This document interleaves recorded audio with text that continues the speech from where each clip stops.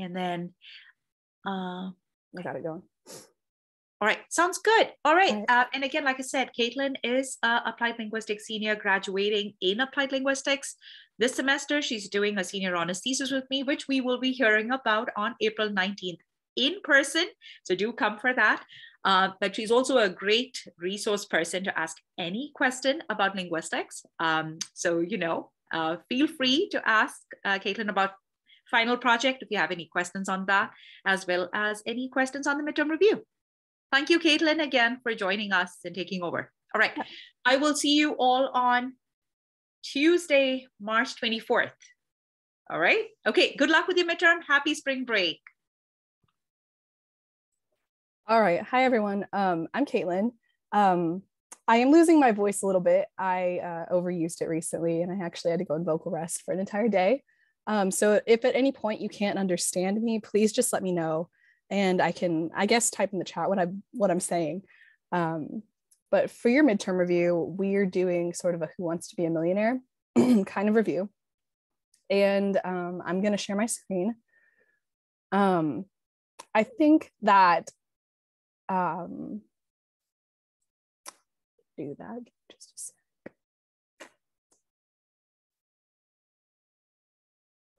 All right, do you guys see what I'm seeing?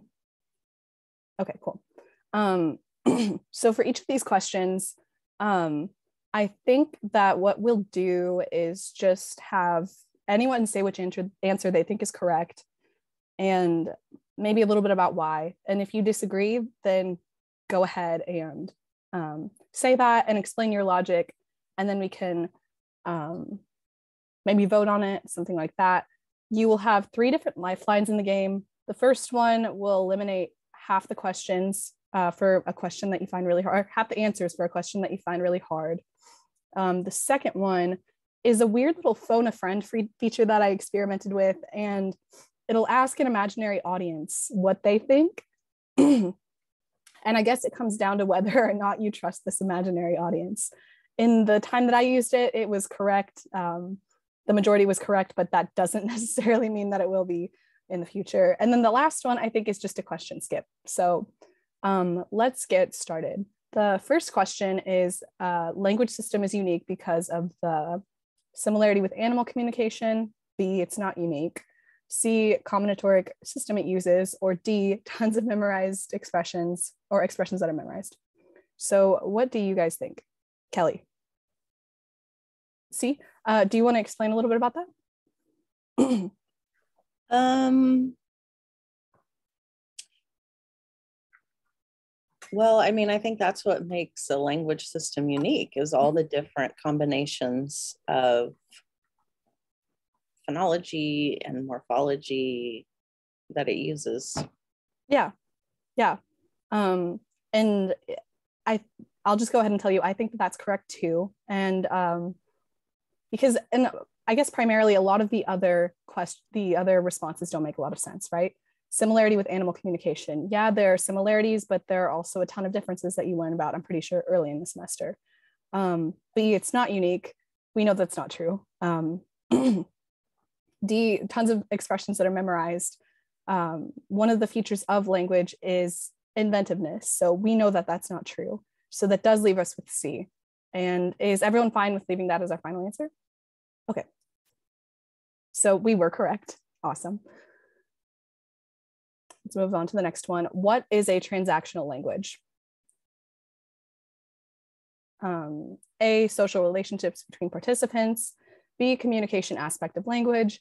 C, language for doing things. Or D, language for transactions. if you don't know the answer right off the bat, if there are any that you want to eliminate, we can totally do that too. But just share your thoughts with me if um, yeah, if you have any thoughts.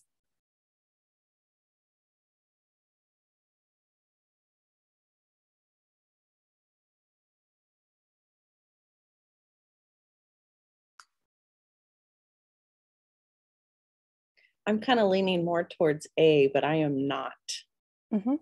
100% on that. What do you guys think? I'm torn between A and B. Okay. Thinking B. You're thinking B? Okay. Um, is this one that a lot of people are maybe a little bit unsure of? Because if so, we can use one of our lifelines. Um, I'm going to go ahead and for anyone who wants to use a lifeline, go ahead and raise your hand. And if it's like more than half, then okay. or use like the feature to raise your hand uh, if your camera's off, which is also.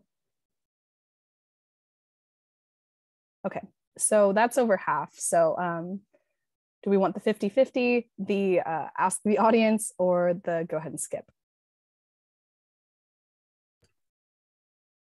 What do you think? Ask the audience.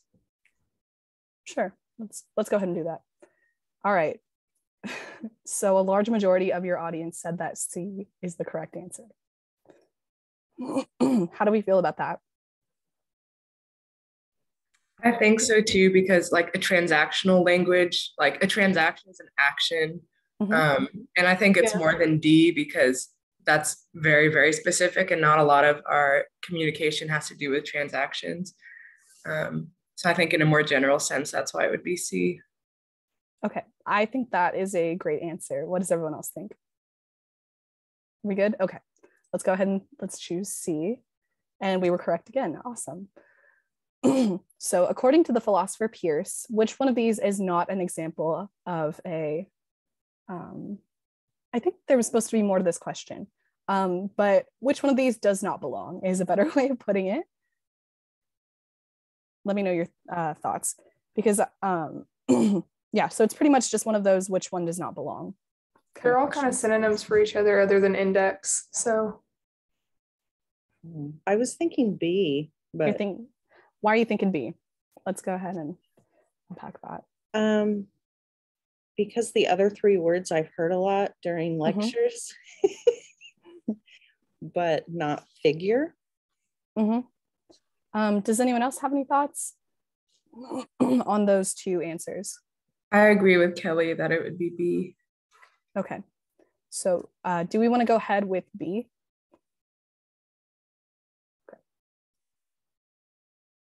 And that is correct.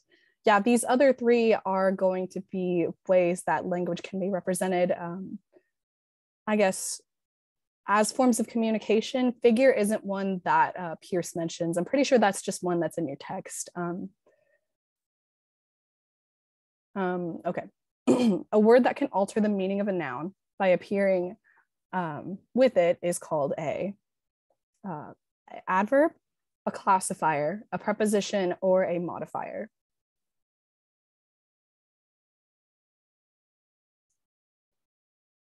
What do you think, Kelly? I was thinking a D. Mm-hmm. Um,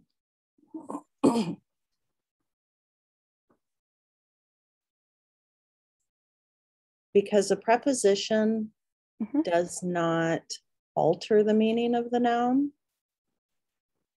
Um, an mm-hmm. adverb, we know that adverbs describe the verb. Um, it's not like a classifying type of word. I would I wouldn't think. Mm-hmm. I mean, modifying to modify means to alter. Yeah. So I, I think that's a really great way of thinking through this question. Um, does everyone agree that it should be D modifier? Or any other thoughts? Go ahead and share. Um, even drop it in the chat if uh, you disagree and we can talk about it. But I'm seeing a lot of agreement. So I'm going to go ahead and select modifier. Okay. So yeah, um, like I was saying, yeah, Kelly, that's a really great way of thinking through questions. Um, I can't say too much about your midterm. I don't know what it looks like. I know um, what mine was like, and I don't want to say too much about that either, just not to get all you in trouble. But um, that's a really great way just of thinking through a question of getting rid of anything immediately that looks wrong to you, and then moving from there. So we know very clearly what an adverb is, what a preposition is. A classifier may not be so familiar, um, but we can guess what a modifier is, even if we don't know the definition of it. Um, something that alters something, something that modifies something, a modifier. Yeah. I like it. Okay. so what are the design features of language? arbitrariness, creativity, duality, or all of the above.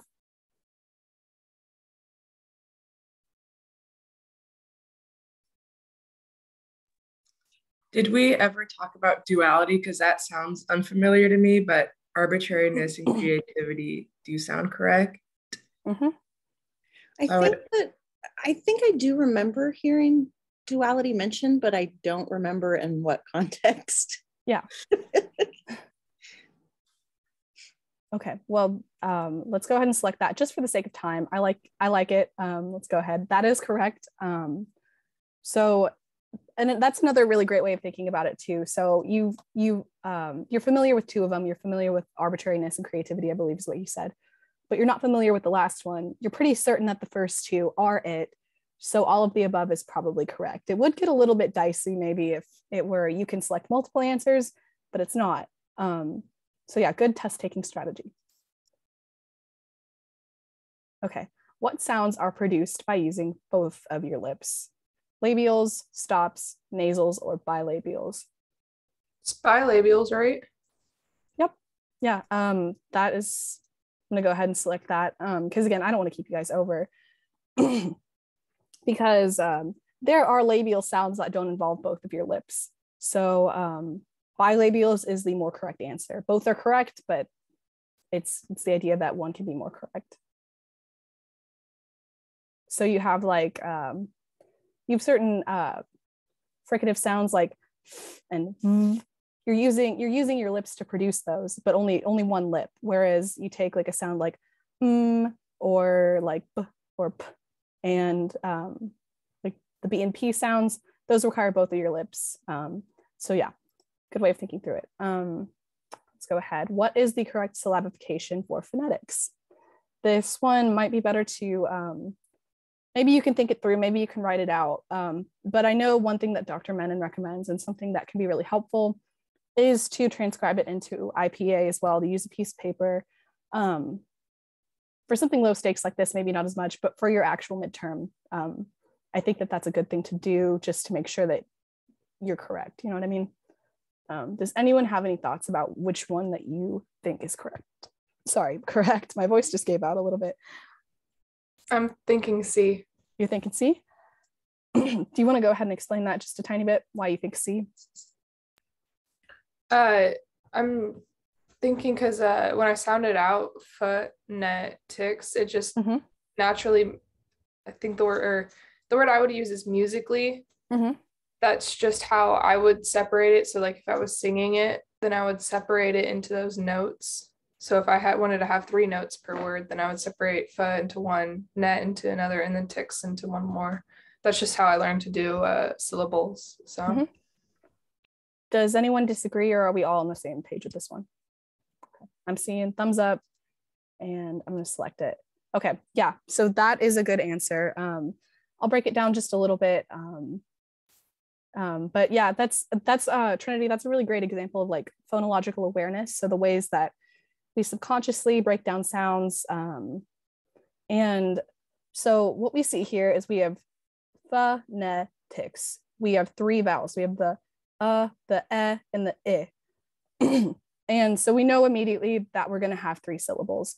Um, that doesn't rule anything out here because everything here um, shows three syllables. But then from there, we want to identify possible onsets. So fo is an acceptable onset um, so's ne. Um, well, okay, so with, yeah, so ne is acceptable. And then t is also an acceptable onset. And since uh, the sound at the end um, doesn't have any vowel to go with, then you'll just make it the coda of your last syllable. so moving on, in the compound greenhouse, the stress is on the, um, there is no stress the first element, the second element, or the third element. the first element, I'm seeing people, yeah, okay. Yeah, um, let's go ahead and select that. I see a lot of agreement for that. Yeah, first element. Um, that's, uh, yeah. So with any, um, with any compound word, um, you know a lot of the time that it's a compound because the stress will be on the first element rather than um, any later elements. And that's just something good to know, um, something that may appear on your midterm, uh, something that may appear in later linguistics work, but that's a really great way in English, I guess, to identify um, yeah, compounds. And I find third element funny because there's a third element, but okay, divide this word into the smallest meaningful parts. Demagnetizability.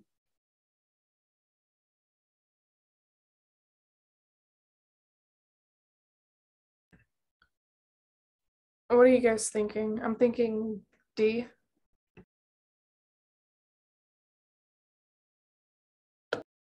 I agree. Okay. We're all good. So demagnetizability. Yep, really good. Um, so again, the smallest meaningful parts is an indication immediately that you're looking for morphemes. Um, so you've got D, you can't separate that into anything smaller. Magnet, you can't separate that into anything smaller. Eyes, can't separate that into anything smaller. Ability could be confusing for some people, but again, you can divide that into able and then the, um, the suffix ity. So I'm really glad that you guys caught that.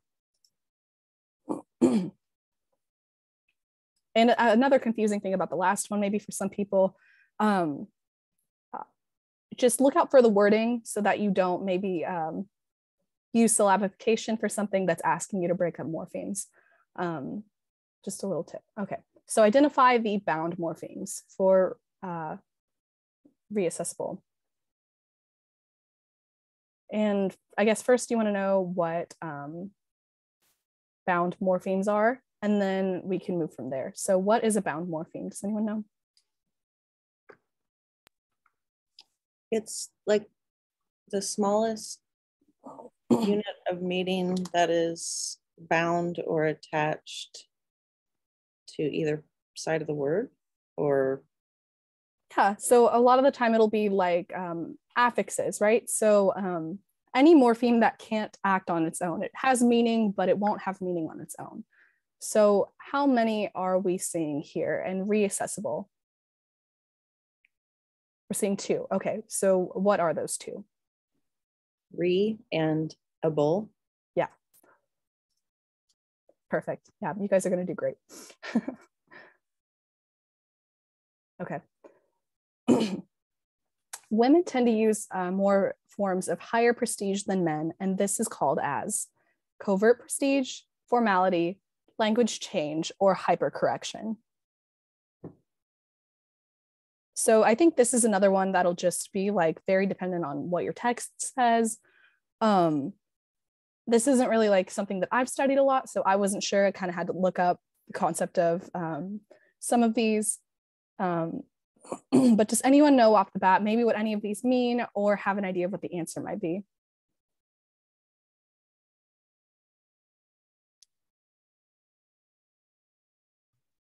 I, I know we talked about like using language change when going from a more casual to a more formal setting. Mm-hmm. Um, but I don't know if that would like if you just use it naturally, if that would be considered a change or if it would be formality because that's describing what it is. Yeah. Um, so what you're talking about is code switching, and I'm not 100% sure, but I think that this would maybe fall under code switching or just language differences between demographics.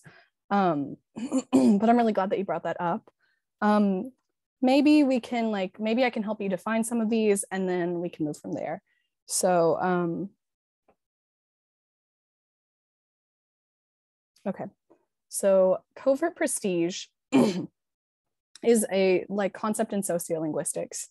And it's the idea that um, some dialects that maybe in like a larger, I guess, um, group may not be like may not have prestige in that group, but then you go to a more specific language group and it has prestige.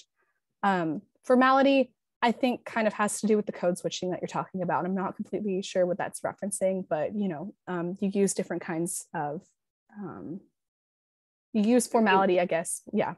Go ahead, it, Kelly. It's a, I, I believe it's like a form of language register. Okay. That, I was not 100% sure on that. So formality, I think, is yeah. Yeah. Yeah. Okay. So let's go with that. I think that's right. Um, again, I'm not completely familiar with your book, so I'm just operating off of um, what's in my noggin. But and then language change. Does anyone want to like um, elaborate on that? Because I have my own ideas, but I'm not completely sure how your book defines it. In the lectures, we talked about like um, you might use a different type of language when you're with your family versus in a university setting. Mm-hmm. That's a conscious conscious choice you make to change the manner of the way you speak. Perfect. And then hypercorrection. Does anyone have any idea what this is? Um, this is one that I actually do know a little bit about if you guys don't, so I can share. Um, hypercorrection is kind of a way of speaking that is, we talk about like um, grammaticality, right? Um, and grammaticality has to do with the way that language is actually used. Um, but in like a more formal, maybe I guess, um, maybe like uh, academic setting, this would be considered ungrammatical or incorrect. Um, so um, like this would technically be like an incorrect or erroneous way of speaking, um, but a but a way that some people do speak. So um, um, saying like I'm trying to think of a good example for you um, so I don't confuse you. Um, so saying um, with I rather than with me, maybe, um, because you use with the preposition, you use me, with I, that is usually the subject of a sentence. Um, yeah, between you and I versus between you and me, maybe that's a little bit better way of phrasing it. Um, it's a way language is used, but isn't actually correct. So, um, what does everyone think? Which one do you guys think sounds the most correct? It's either B or C. I don't know. You think it's B or C? Okay. Yeah. I would say B because it's more of a description of how women tend to use language versus a conscious choice. Mm-hmm. Okay. Are we all fine with B? Do we want to use a lifeline? Um, since it's one that we're a little bit unsure about or um, yeah what are you guys thinking anyone else have any ideas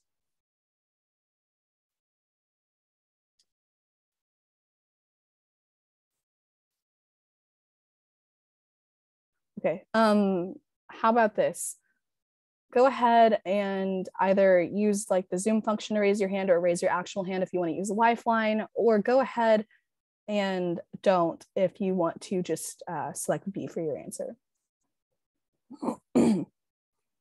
okay, so I'm seeing that. Okay, so we're gonna go ahead and select B. Okay, um, so hypercorrection is, and we can actually continue the game, this won't be an issue. Um, but here maybe yeah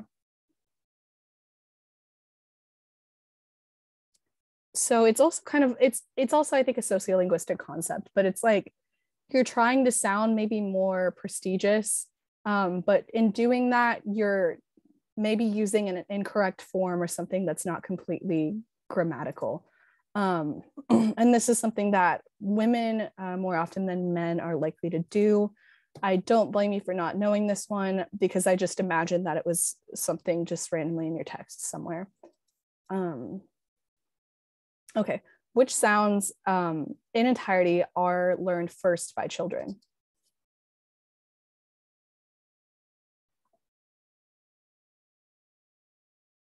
So go ahead and like, if a baby's babbling, like in the really early stages of babbling, what do you what do you hear? What kind of sounds do you think you hear?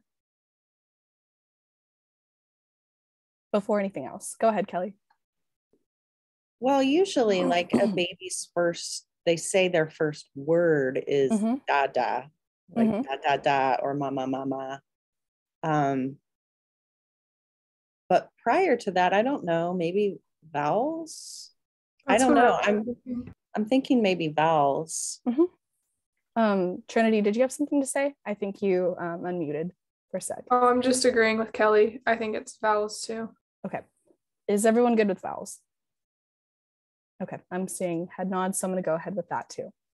Yeah, so it is vowels. Um, and I, again, I like the way that you thought through it. Um, yeah, it is vowels. When a baby like really first starts speaking, you hear a lot of like, um, I'm not, I, I don't have the exact exact stages of um, speech memorized anymore. Um, but just really like, really think when a baby first starts vocalizing, you're gonna hear like the ah sounds, you know, you know what I mean? Um, even maybe I guess when they're vocalizing, when they're upset, when they're happy. Yeah, it is vowels. Okay. Identify all the words that begin with a velar consonant. Um, so my tip for this one is to go ahead and with any any question like this, actually put it into IPA. You don't want to confuse yourself and um, yeah, or think through it in IPA. You don't even have to write it out. Um, but writing it out sometimes, you know, helps you um, think it through a little bit better and then gives you something to look back at and be like, okay, that's why I said that.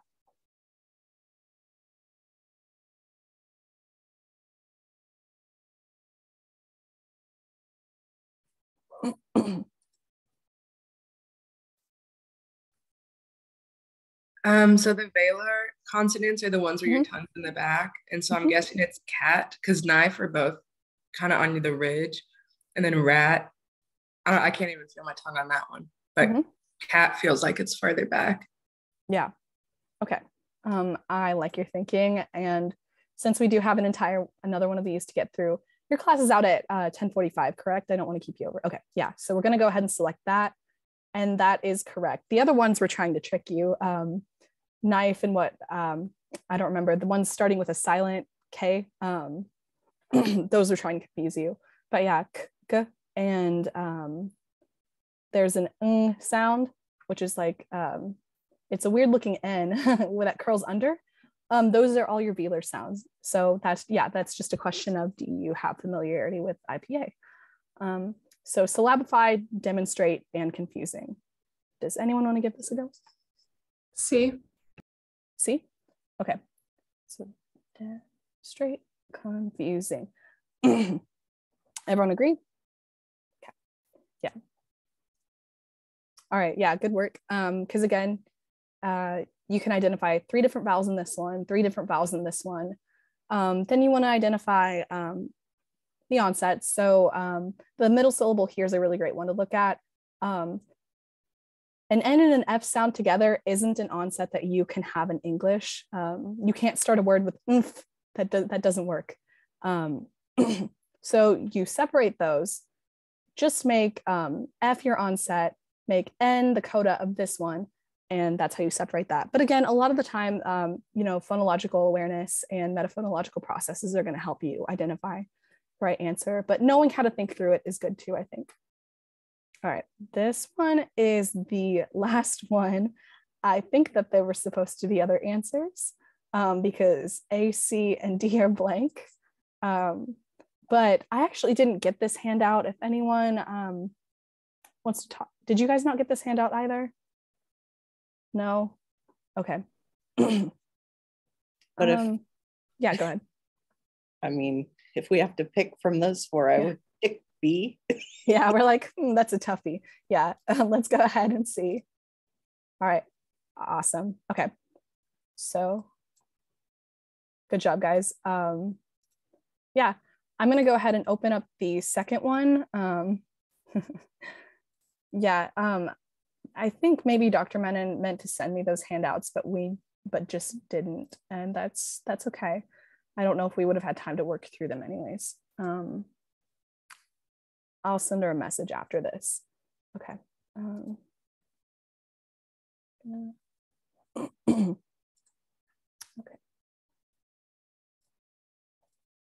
All right. Okay. Um, so I, I, think we already answered this one. I'm going to go ahead and select the correct answer again. Um, so I think it was put in there twice, but let's move on. All right, this is a different question.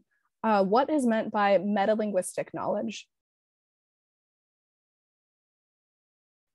So our options are um, knowledge about linguistics, knowledge about language, knowledge about philosophy, and knowledge about logic.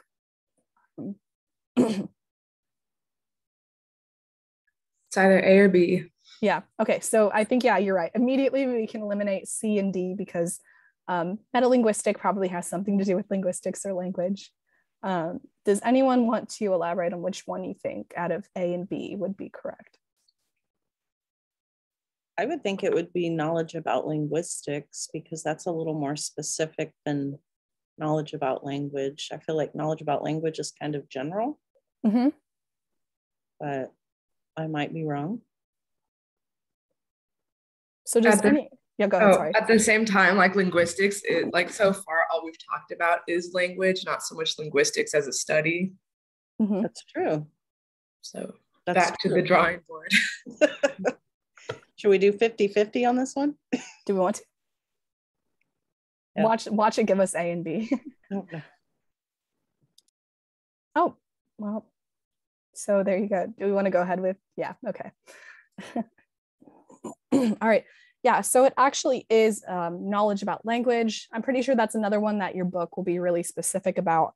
Um, but I think based on what I know, um, so meta metalinguistics is like self-referential language, which is why I would have selected knowledge about language rather than knowledge about linguistics. Um, but yeah, um, again, again, I like I like the immediately eliminating C and D. That's a good test taking strategy. I'll have a little bit more maybe to elaborate after this if we have time. Um, but I really want to get through this just so you see these because I think these are similar to like your midterm questions. Um, name one evidence for the symbolic nature of linguistic signs.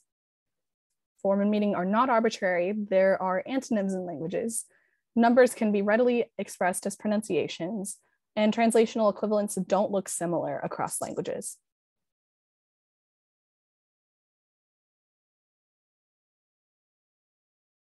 And I think immediately some of these like make no sense at all, right? Um, does anyone want to just uh, jump in and say, I don't like that answer instead of I like that answer. Or if you already have solved it, that's cool too. But um, I think this one can maybe be a little bit tricky. I, I think of, it would I'm, be, oh, sorry. Oh, it's okay. I was just leaning towards D. Mm-hmm. And why do you like D?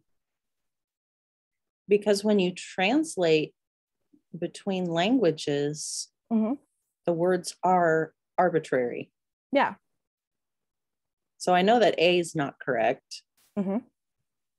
Um, the fact that there are antonyms in language, I don't think would be evidence for any symbolic nature of linguistic signs, but maybe I'm wrong.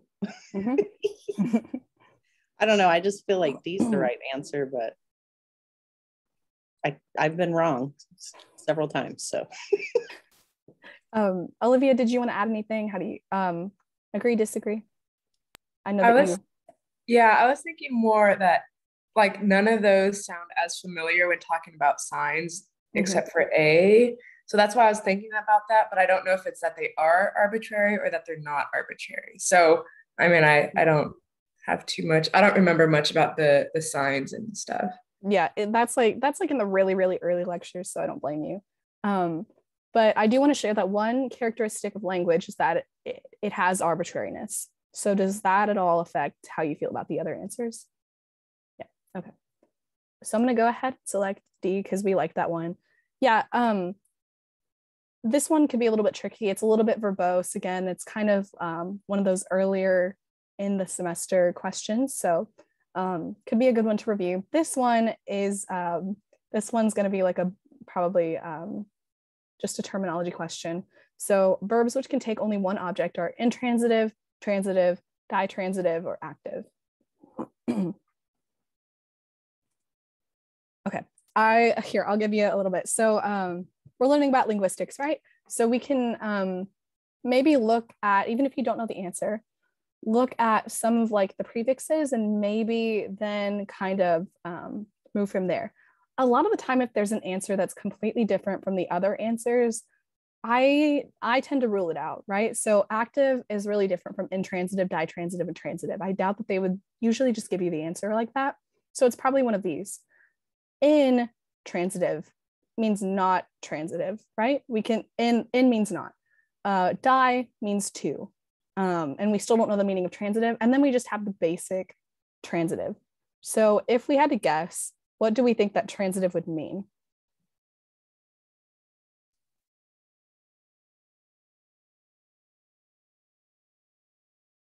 Anyone?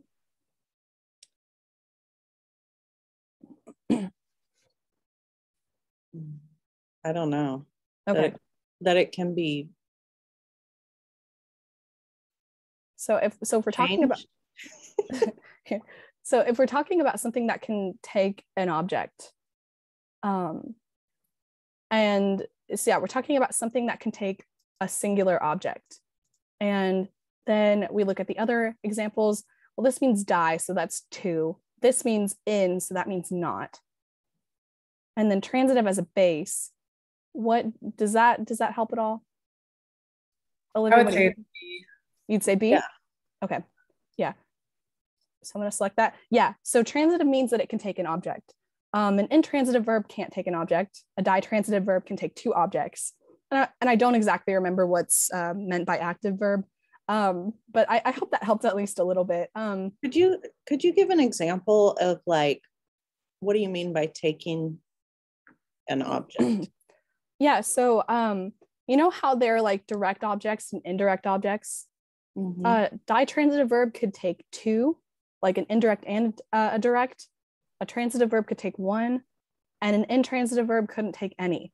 So, like, intransitive would be something like if you tried to say, I run him, like, that's not correct.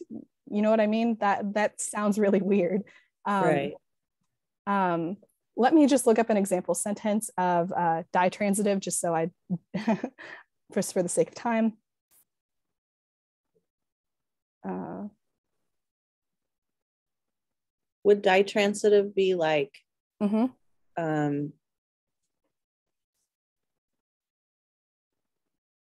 the boy and the girl eat? Well, um, so those are subjects. Usually objects oh. in English are going to come after because it's subject, verb, object in English. Um, right. So ditransitive would be something like, I gave him the letter. So what did you give? You gave the letter. Who'd you give it to? You gave it to him. So an indirect object would be like, would be him, and letter would be a direct object. And so gave can take two objects. Um, then take something like, um, I love him. That takes one object. You really couldn't say, I love him, the letter, you know?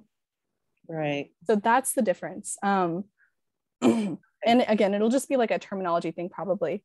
Um, and again, um, if you guys have any like um, questions, maybe I can help out a little bit. Um, feel free to completely email me. I will drop my email in the chat before the end of this session, even about your final projects. I've done it before.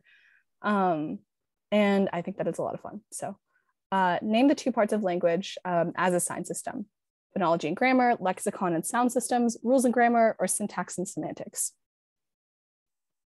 So um, we're taking language as a sign system, which um, immediately maybe helps us get rid of a few of these. So phonology would have nothing to do with a sign system, so we can get rid of that.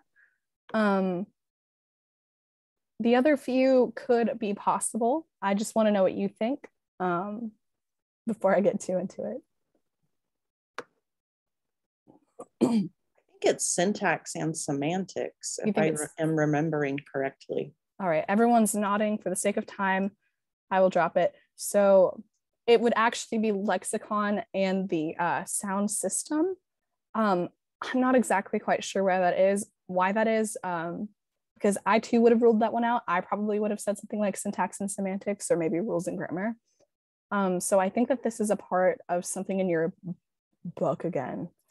Um, one tip that I have for this midterm is like, I know that you're going to have open book. We didn't have open book, so it's a little bit different, but definitely read the book. You're going to find like a lot of answers in the book. And if you can kind of roughly remember where you read something, um, then that is such a good tool to have because then you can be like, oh, okay, so it was here. You have like a time limit, right? So, um, yeah, read the book for sure. Um, because even the ones in the lecture, even the questions that come from the lecture, they'll probably be based in the book.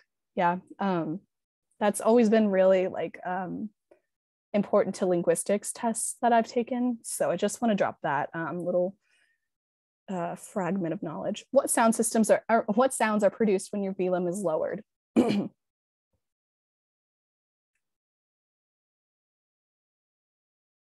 so this is just another one like you just have to understand a little bit about anatomy of like your uh, speech. So um, plosives are going to be a lot of buildup of uh, air and then a sudden release. Fricatives are, you know, a violent kind of stream of air. There's a point of constriction at one point. Vowels are going to be really, really open sounds. And nasals are going to be sounds where sound is resonating in a different cavity. It's not re resonating in uh, your um, oral cavity, it's resonating in your nasal ca cavity. So um, does anyone know which one of these the velum would have to do with? I would say vowels because that one's the widest open space. So to make more space, maybe your tongue's lower. Mm -hmm. But that's just a guess. Anyone else have any thoughts too? Or do we agree with vowels? Well, if I'm using the strategy that you said earlier, I'm mm -hmm. almost afraid to pick vowels because plosives, nasals, and fricatives are kind of in one category. And vowels. Wouldn't it be nasals where your velum is lowered? That is, so I'm going to go ahead and select nasals for the sake of time. It is nasals. Um, when your velum's raised, um, it's going to be up. So air can just move right into your oral cavity. It blocks off your nasal cavity, right? Um, but when your velum is lowered, then the air can't completely go into your oral cavity. It's going to resonate in your nasal cavity instead. So uh, yes, your velum has to do with uh, nasal sounds. Just keep that in mind. And um, yeah, I like the way that you thought about that, Kelly. I liked um, the attempt, Olivia, too, because you're really thinking about oral versus nasal cavity. And I, I like that. Uh, so what is the correct syllabification for this? Um, ex exponential. Let's see. Exponential. Oh, okay. So, um, so here's here uh, is why it's B. So you take that second syllable and you're looking at possible onsets. And you might already know this, but I'm going to explain it just in case. Um, so sp is S and P together is a sound that you can start off. Um, you can start something off with. You can start a syllable off with. You can start a word out in English off with S and P. So you don't actually have to make that the coda of the previous syllable. So that's why that is that way. Um, next question, identify the bound morphemes in this sentence. The, the dogs were chased by the oldest cat. Um, earlier, we talked about bound morphemes being a morpheme that can't act on its own. It has to be attached to a root in order to function within language. So what do you think that the bound morphemes are here?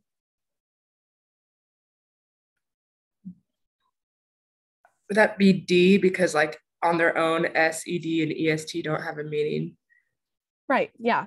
So perfectly, perfectly done. Um, and EN isn't even in this sentence, so I don't know why uh, it was listed. It just you know just to trick you, but yeah, that is correct. Uh, divide this word into their smallest meaningful parts. Anti-disestablishmentarian. So again, meaningful parts. It's not asking about syllables, so you're looking at morphemes. B. Okay, perfect. Yep.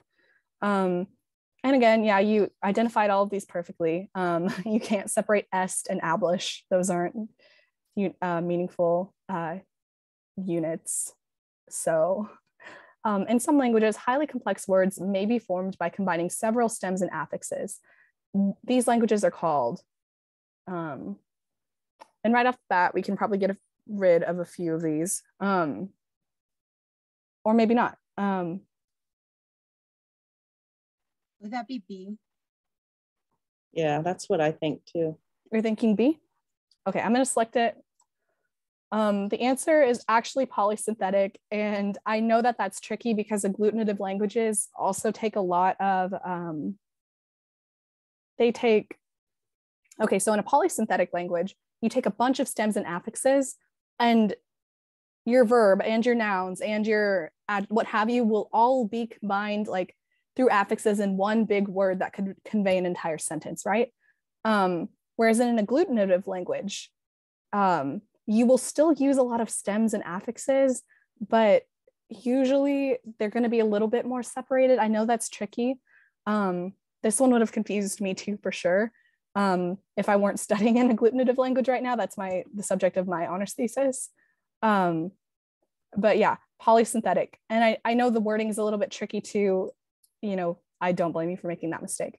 Um, in language variation studies, there could be a problem with writing down what you thought you heard. This is called perception error, observer's paradox, Labov's problem, or a methodological issue.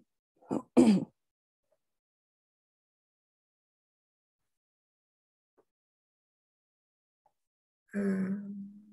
perception error. I'm going to select it. Yep. So if we know what like observer's paradox or Labov's problem is, if it hasn't been mentioned, and I say this very tentatively because if it's something that maybe you kind of recognize and you're not sure, um, but if it's something that's just never been mentioned, then a lot of the time, you know, maybe the simplest answer is correct. And I think that is the case here. Children usually emit which of the following sounds. Um, so here I'll walk you through it a little bit. Um, a lot of the time, you know, so this is completely different. A stop is um, a manner of speech. These are like, uh, these have to do with placement, right? Labials, alveolars, velars. So I would look between these three. Um, and then from there, a lot of the time, which sounds do children develop first? You said the example of dada. Uh, when they want their bottle, baba. Those are sounds in the front of your mouth. Those are labials and those are alveolars. So um, that leaves velars, you know, um, being in the back of your mouth. Um, and I would probably select velars. Um, does that make sense? I just want to be able to get through these so you guys have actually seen these questions because um, we only have one minute left. Okay, identify the segment that differs in place of articulation from the other three. So we've got mm, we've got p, we've got ol, and we've got w. So which one differs in place of articulation? C O. Yep, there you go. And okay, syllabify, discussion, and congratulations. So, um, so we've got um, the middle syllable right here. So we've got di, that's fine. Um, we want to see if we're going to have a coda. So can we say sk at the start of a word? Yeah, we can. So we're going to keep ska together. And then shun, there's no other vowel to worry about. So we can keep that together. Um, so we've got ka at the beginning of congratulations. Then we've got mm, like the end sound. There's like, um, and then there's like, um, we've got a velar sound and we've got this um, alveolar liquid together, right? So, um, um, so we have to separate the N from the G and the R. You can start a sentence with gur, but you can't, um, yeah, I'm not going to keep you over time. I will just let you know that I think it's. I was thinking D. You're thinking D? Yeah. Let's select it. Okay, cool. And then we don't even have the handout for this one, so we're good. Um, if you do perhaps find the handout, the answer is infixation of in. Um, so yeah, biggest tip, um, make sure to read the book, make sure to review the book. Um, if you have any questions, my email is, um, you can look me up in the Wichita State directory. If you like, just type my name. My name is Kaitlyn Hamburger. My email is kshemberger at shockers.wichita.edu. Um, I'd be happy to help you. Um, and yeah, I hope that this was kind of helpful. Um, I'd love to explain anything more if I confused you at all. So yeah, just let me know. Um, you're free to go. Uh, thank you for, you know, being so willing to, willing to participate in this activity. Thank you. Thank you. Thank you.